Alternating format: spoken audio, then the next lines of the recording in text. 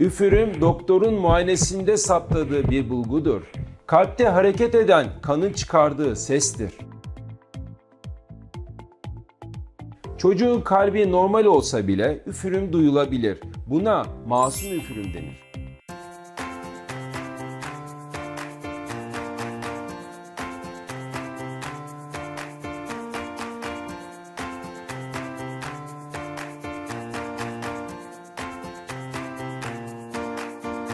Ateş ve kansızlık gibi durumlarda da üfürüm duyulabilir. Buna fonksiyonel üfürüm denir. Kansızlık tedavi edildiğinde ya da ateş geçtiğinde çocukta duyulan fonksiyonel üfürüm de kaybolur.